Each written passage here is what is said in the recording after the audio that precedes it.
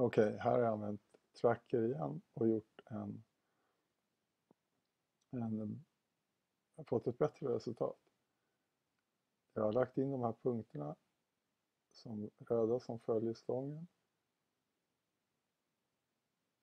med manuellt, en i taget istället för att köra autotracking.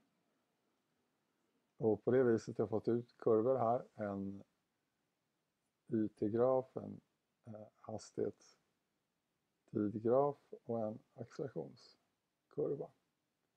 Jag använde en kalibrering istället för den här lila måttbilen. Kalibreringen hittar man eh, som kalibreringsstav.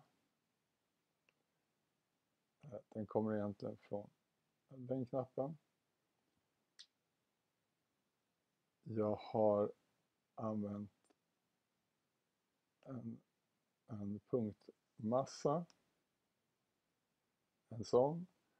Och sen har jag helt enkelt eh, börjat på lämpligt ställe i filmen, skiftklickat på varje punkt, filmen stegar fram en frame i taget och jag klickar dit punkterna. Ganska mycket klickande som jag gjorde på tunnelbanan.